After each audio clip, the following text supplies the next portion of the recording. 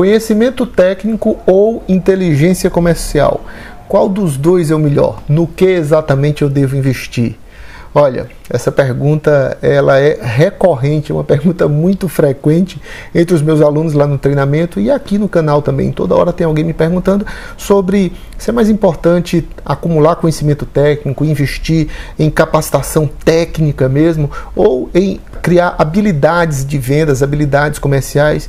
E eu te digo o seguinte: não tem uma coisa que seja melhor do que a outra, são coisas diferentes que cumprem papéis diferentes. Então, o conhecimento técnico ele é essencial para que você consiga gerar transformação na vida dos seus clientes, porque o cliente contrata, ele tem uma expectativa e a expectativa dele é que você cumpra a promessa que fez no momento da contratação.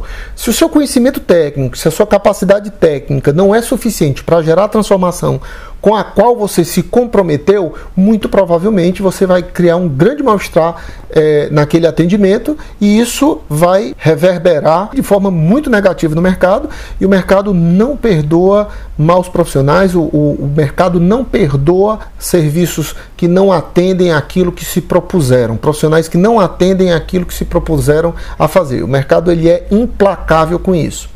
Por outro lado, se você tem muito conhecimento técnico e não tem uma estrutura de inteligência comercial que faça os seus serviços chegarem até os clientes que vão conhecer, apreciar e comprar os seus serviços, dificilmente você vai prosperar. Eu também conheço muita gente que tem grande conhecimento técnico, mas que vive aquilo que nós chamamos de a síndrome do especialista. É o cara que sabe muito, que tem muito conhecimento técnico e que durante um tempo, no passado, ele conseguia clientes fazendo fila para entrar no seu escritório ou para entrar na sua agenda, para ter um atendimento, para ter uma horinha com ele, e esse cara acabou não desenvolvendo habilidades comerciais. Qual é o problema desse profissional hoje? Simplesmente os clientes não encontram esse profissional. E quem já iniciou a carreira como consultor empresarial nesse novo cenário de tantos recursos comerciais, se não tiver uma estrutura inteligente para fazer com que o seu produto seja conhecido, seja apreciado e fundamentalmente comprado pelos seus clientes, você dificilmente vai prosperar. E inteligência comercial é isso: é você ter meios para é, criar uma base de clientes de consolidar um market share, uma participação no mercado e fazer com que as pessoas te encontrem, que você apareça para as pessoas certas. Não existe nada mais inefetivo em negócios do que você tentar oferecer ou você tentar vender para quem não está interessado nos seus produtos. Você tem que aparecer para as pessoas certas, você tem que aparecer para aquele cara que, quando se depara com o seu produto ou serviço, ele fica enlouquecido para comprar. E, e a inteligência comercial é exatamente isso é você construir meios para aparecer para o seu cliente certo, para o seu melhor cliente. Como é que se constrói hoje uma estrutura dessa? Primeiro, você precisa ter muita clareza sobre quem é o seu cliente, quais são as características desse cliente.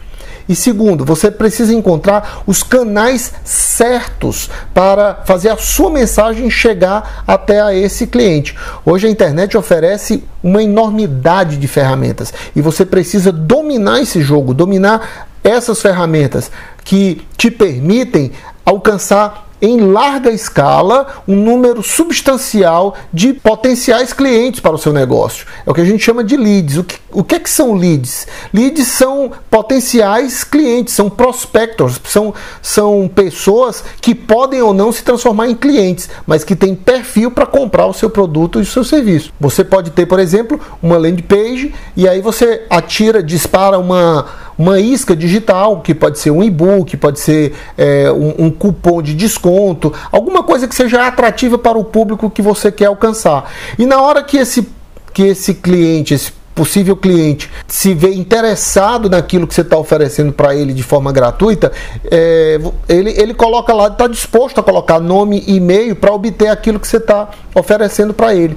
Quando você faz isso de forma muito profissional, você consegue obter um número enorme de, de leads, um número enorme de e-mails, e depois você começa a se relacionar com essa lista, e aí sim é, à medida que você vai construindo autoridade, vai construindo confiança, consultoria empresarial é essencialmente confiança. E você precisa ganhar a confiança desse público para quem você está aparecendo. À medida que você constrói essa confiança, essa relação de confiança, que você mostra que você tem capacidade técnica, e aí veja a importância de ter a capacidade técnica somada à habilidade comercial.